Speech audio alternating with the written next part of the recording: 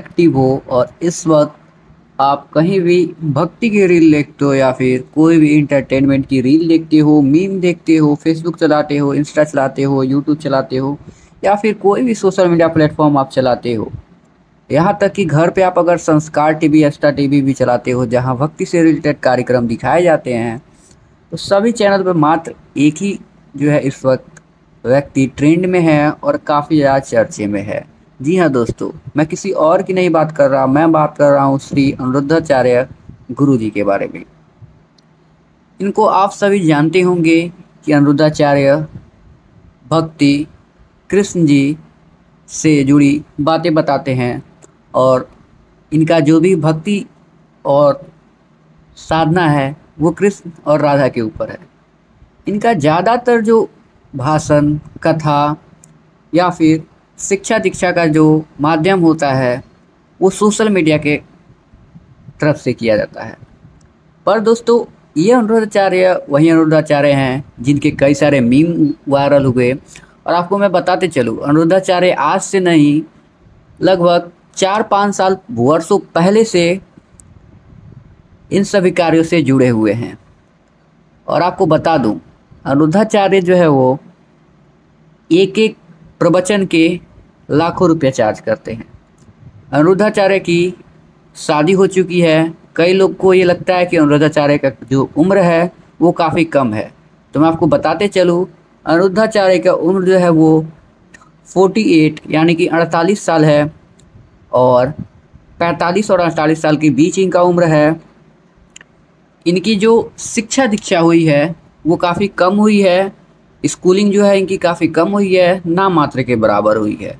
इन्होंने ज़्यादातर जो शिक्षा और दीक्षा का कार्य किया, वो वेद और ग्रंथ पढ़ के किए। इन्होंने रामचरितमानस तुलसीदास प्रेमचंद्र, सभी की जो है वो किताबें पढ़कर अपना शिक्षा दीक्षा लिया।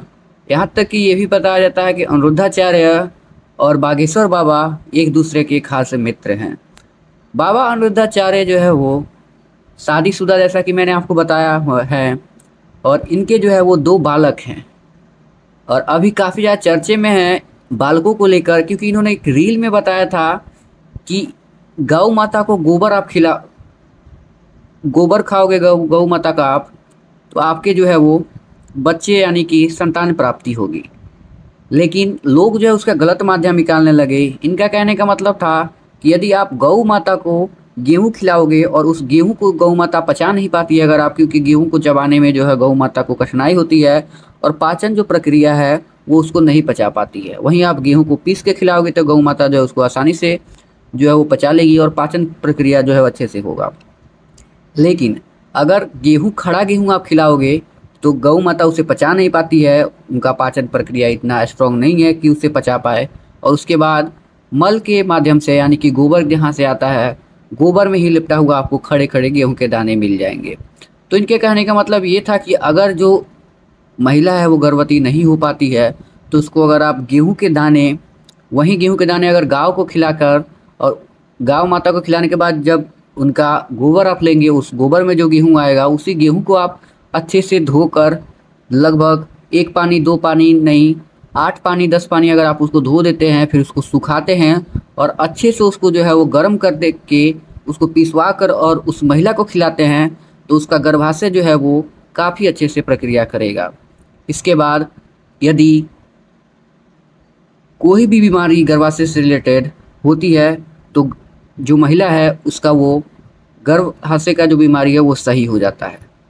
तो कई लोग ये पूछते हैं कि क्या बाबा जी आप भी ये कार्य किए हैं? कि आप भी अपने पति को, पत्नी को गाय का गोबर खिलाकर और गेहूँ खिलाकर आप जो है वो अपने संतान की प्राप्ति की हैं तो वो न, उन्होंने बताया कि ऐसा बिल्कुल नहीं है, क्योंकि ये कार्य उन पर लागू होता है जिनको जो कठिनाइयाँ होती है या फिर बीमारियाँ होती है। मुझे कोई कठिनाइयाँ नहीं आई, इसलिए मुझे आसानी से पुत्र और संतान की प्राप्ति हो गई। दोस्तों अनुरुद्धाचार्य के पास जो है वो अनुरुद्धाचार्य कई भाषण में आपको देख, सुनते हुए, कई सारे प्रवचन में आप उनके सुनेंगे। वो बोलते हैं कि संसार का मोह माया से दूर रहिए, कि सभी चीज़ें मोह माया है, हर एक चीज़ मोह माया है, मोबाइल से दूर रहिए, ज़्यादा शौक मत रखिए। पर मैं आपको बताते चलूँ, अनुरुद्धाचार्य जो है वो खुद पचास लाख के गाड़ी पे घूमते हैं। अनुरुद्धाचार्य के पास अभी लेटेस्ट गाड़ी जो है वो आप देख सकते हैं, ये है। अरुणाचार्य अभी जो है काफ़ी ज़्यादा फ़ेमस है एनडीटीवी रिपब्लिक भारत कई सारे पॉडकास्ट में इनको बुलाया जा रहा है। साथ ही साथ अनुराधाचार्य जो है वो आस्था टीवी और संस्कार टीवी पे आते हैं और रोज़ इनका लाइव होता है। लाइव में जो है ये कई सारे जो है वो लोगों के प्रश्न सुनते हैं और उन्हीं प्रश्न को जो है वो सुनने के बाद, उनके समस्याओं को सुनने के बाद उनका समस्या का हल करते हैं और इन्हीं समस्याओं और प्रश्न के बीच से जो है मीम बनते हैं। कई लोग जो है वो बोल देते हैं जैसे कि एक बच्चे का जो है मीम वायरल हुआ था कि मेरे चरणों में गुरु जी आपका कोटि कोटि नमन। और ऐसे ही अरुद्धाचार्य का एक और था कि गुरु जी ए, ए, कि मैंने जो है अपने औरत को ख़रीद के लाया है और शादी किया है पचासी हज़ार में। तो गुरु जी बोलते हैं कि क्या इससे महँगी वाली नहीं थी क्या डेढ़ सौ डेढ़ लाख वाली? तो ऐसे ऐसे नटखटपन के कारण और ऐसे ऐसे चीज़ों के कारण इनका हादसे भी उड़ाया जाता है। लेकिन हादसे के पीछे कई सारे जो है वो फैक्टर काम करते हैं और गुरु जी दिन पर दिन जो है अपने संपत्ति जो है सहयोग रहे हैं।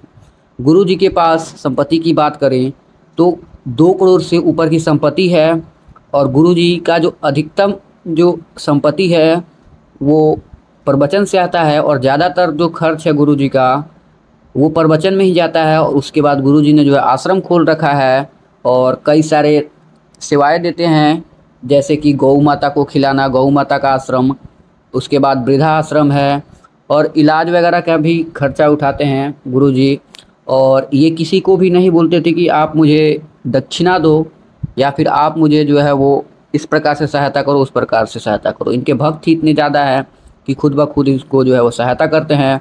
और लोगों से ये डायरेक्ट जो है वो यूपीआई और इस पर पैसा नहीं लेते हैं, ये अकाउंट में पैसा लेते हैं, उसके बाद जो है इनका जो खर्च होता है। दोस्तों, मैं बताते चलूँ अनिरुद्धाचार्य का जो उम्र है, वो पैंतालीस साल से ऊपर है और अनुरुद्धाचार्य का जो है शादी लगभग पैंतीस साल के तीस साल के उम्र में हो चुका था।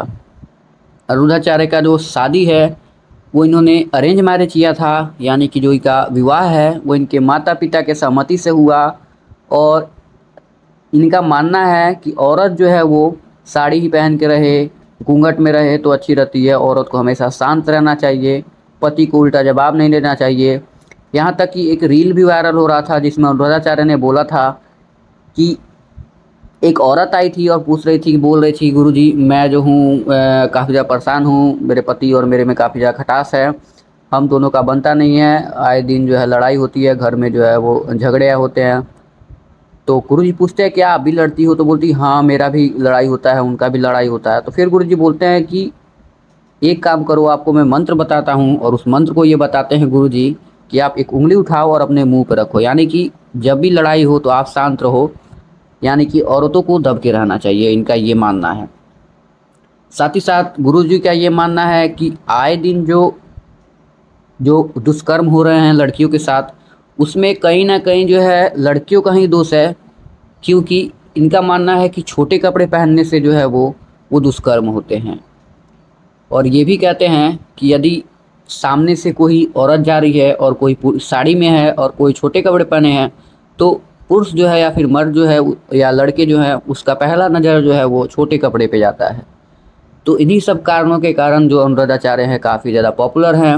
आपको कैसा ये लगा वीडियो, आप मुझे कमेंट करके बताइएगा। और क्या आप भी अनुराधाचार्य को फॉलो करते हैं? फॉलो से याद आया अनुराधाचार्य के जो है यूट्यूब चैनल्स पे पाँच लाख से ऊपर सब्सक्राइब पचास लाख से ऊपर सब्सक्राइबर है।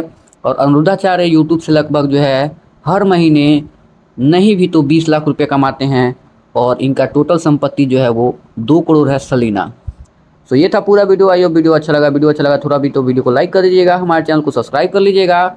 तब तक के लिए जय हिंद दोस्तों, मिलते हैं ऐसे किसी नए और इंटरेस्टिंग वीडियो में। और कमेंट करना बिल्कुल ना भूलें।